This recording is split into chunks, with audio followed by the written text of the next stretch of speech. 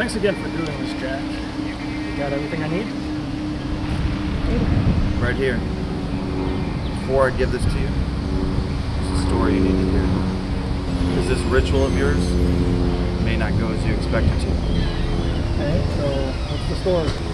A long time ago, the Watchers wanted to teach humans all sorts of things. Everything from growing food to witchcraft. Some years later,